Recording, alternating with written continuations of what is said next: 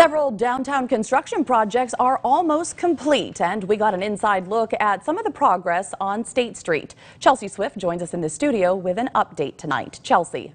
Jen, the four-story building that's being constructed on 5th and State Streets will be complete in several months. The building will house a rock climbing gym and dozens of apartments.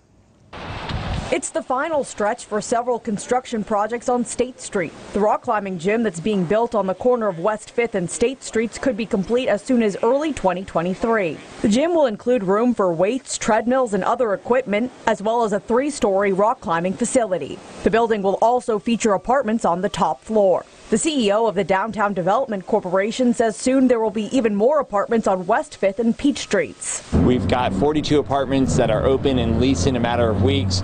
We're going to add another 60 next year and then another 40 more in 2024. Uh, we'll be opening the rock climbing gym and the parking garage and more retail. So it's really an exciting time and it just gets better every day.